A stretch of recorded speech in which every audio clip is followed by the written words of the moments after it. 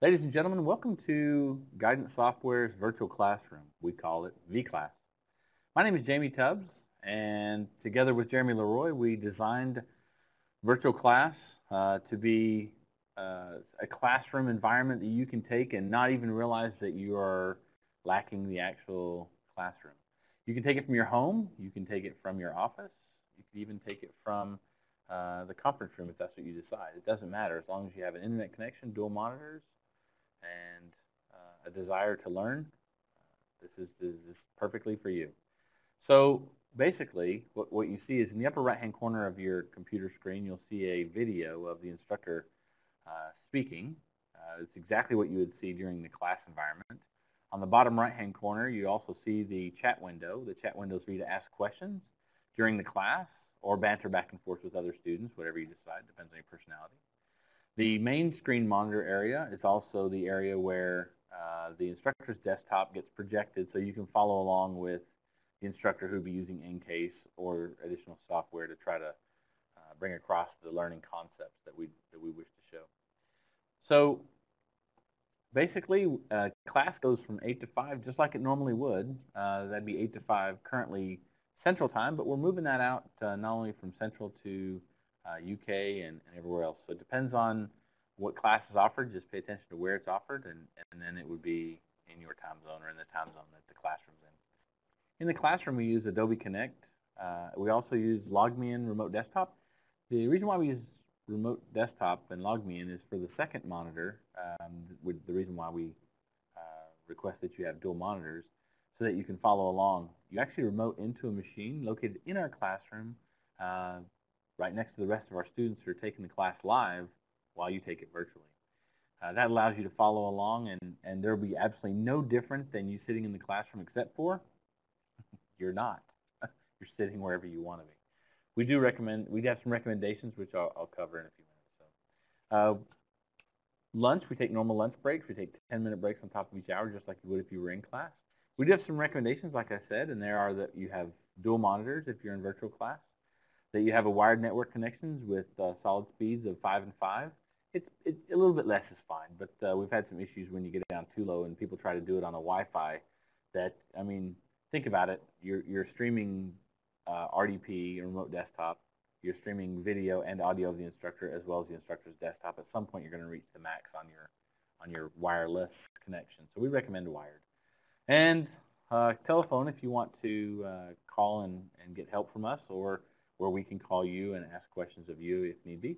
A quiet workplace to take the class. I know it might be hard, but uh, you know, just because you're not in our classroom doesn't mean that uh, keeping up is, is an issue because keeping up in the class, the class sometimes builds on itself.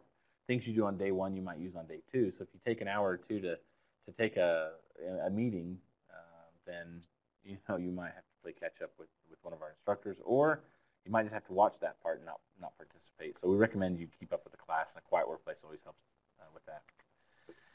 We have the same thing uh, in class is that the uh, copying of evidence files is not permitted, so we won't have to worry about that. Uh, class absences, we talk about class absences. Um, we do expect you to participate in the class uh, using the Adobe Connect uh, back and forth, the chatting. If you do have to miss a portion of the class, just pick up where you left off. I mean, we understand things do happen, and and you know, if you are at home or if you are at your office, you're going to take a phone call. We understand that. So the other thing is uh, chat etiquette. Uh, when you're typing in the chat windows, realizing that uh, the rest of the students can see what you type, you do have the ability to enter into a private chat with the host and answer and ask questions, but back and forth. That way, uh, your questions, if you think it's uh, a question that you don't want, don't want to ask publicly, you can do that in a private chat message. A course manual, you have two choices. Uh, one, one is that a course manual is given to you um, if you sign up farther than two weeks out, you get a paper manual. If you sign up, though, within two weeks, we just can't possibly get it from the printer to you fast enough, and we issue you a Adobe PDF file. That Adobe course manual is good for two weeks with digital rights management installed. Uh, we just also ask that the Monday before class, you spend about 15 minutes making sure that all your gear is set up and ready to go. Log into the classroom environment. It'll be available to you, waiting on you. Uh, there'll be emails sent to you with, with invitations to both LogMeIn and invitations to Adobe Connect. That way you can make sure that all of your software and hardware is working perfectly for uh, class on Tuesday morning. If you start on Tuesday morning and you, you don't have it already tested, it's kind of hard while we're teaching class to troubleshoot whatever your issue uh, we currently don't give CPE credits for this uh, virtual classroom, and that is only because we haven't yet gotten certification authority uh, to, to allow us to, to give CPE. We are working on it adamantly, and, and we'll keep you up to date on that as well. There's a phone number you can call. Here it is. And uh, thank you very much for dealing with us and, and learning the, the virtual classroom. So now that the slideshow is done, basically what I want to do is I want to get out of here and, and go into EnCase and kind of give you just a taste of what you would get in the class and show you uh, everything that you need to see in order to, to realize this is what I would see in, if I was in a classroom. So I'm going to open up a new case. And in my new case, I'm going to call it uh, vClass tests.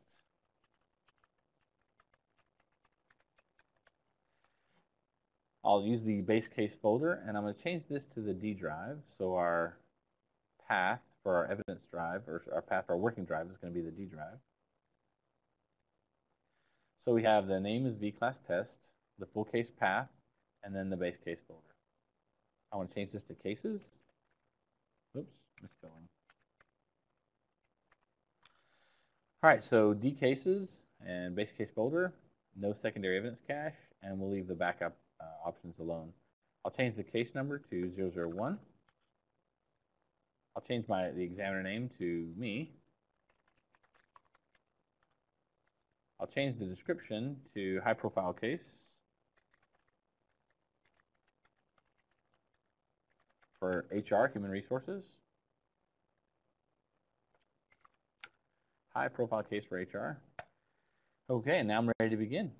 Uh, it's going to ask me, do I want to create this folder? And yes, in fact, I do want to create that folder. So the last thing I want to do is add evidence.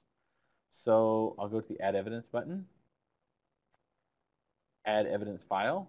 It's going to prompt me for where my evidence files are located. If I've already done the acquisition, I'll go to my evidence folders and just simply pick a piece of evidence that I'm uh, interested in putting in this case. Click on it, and as you can see, down in the bottom right-hand corner, it is verifying the evidence file. When it completes, I'll go to the report view. While we're waiting on that, let's talk about the emails you're going to receive for your LogMeIn remote desktop account. It's going to come from the LogMeIn automailer. You'll receive it when you do. It will have a, a LogMeIn link. Click on that. It will ask you to put in a username and password. The username is the email that you've already used. So the password is simply put it in once, put it in a second time, create the account. There's no more information you need to put in. LogMeIn doesn't record anything else. Click Create Account. Once you've created the account, it will produce to you the computer that you're authorized to use by us. If you click on that, it will take you to the screen. Once you authenticate using the username vClass and the password class123 with a capital C and log on to the gst.domain, you can click on Save Credentials. Saving the credentials will save everything but the password. Once you've logged in and authenticated, it'll ask you to put in the LogMeIn client and install it. You can download it, go to your Downloads folder, click on it, and it will install locally on your machine. And when that happens, you will have a full screen remote desktop connection through LogMeIn. As you can see, there are some options up top. We'll discuss those in a minute. There's EnCase on the screen right now, which we'll go ahead and start up. It's going to ask us when we start it up if we want to install um, password as a viewer. You can choose yes is fine, and then choose no, you don't want to register because they're EnCase dongles. Full screen EnCase, let's do exactly what the instructor did earlier, which was make a new case, V-class. This is how you would be following along. Change the options to the D drive, cases, and then use the base case folder for the primary evidence cache. Choose the case number 001, choose the examiner name, which is you, the student. Click OK, and then choose the description of the case, which was the high profile investigation, high profile case for HR. Click OK, And now you're ready to choose OK to begin. Because it doesn't have a folder, would you like to create one? Of course you would. Click on the Add Evidence button.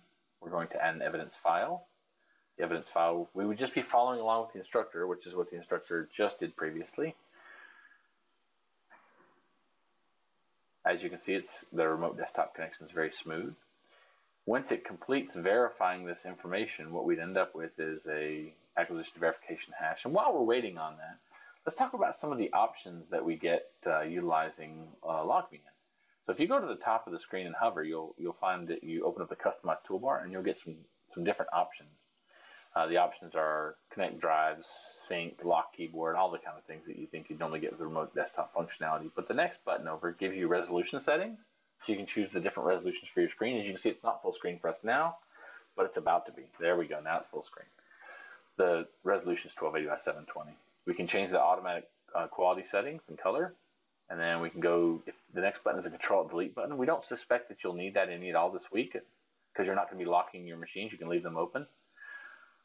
The next button is the options button for um, determining different layout options. So keyboard specifically.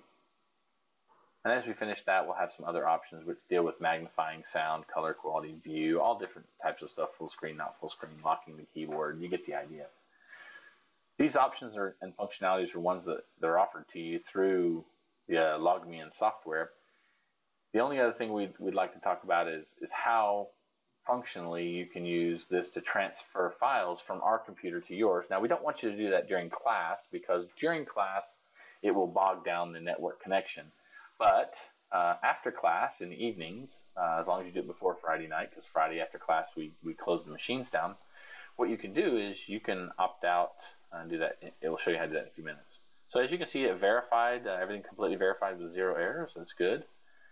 And then we will uh, continue on uh, with our options within Adobe Connect. So once you've closed the connection, you can just go to the File Manager option, open up the File Manager option, and you end up with two computers up just like it was an FTP. The one on the right is, is the remote computer. The one on the left is your actual computer.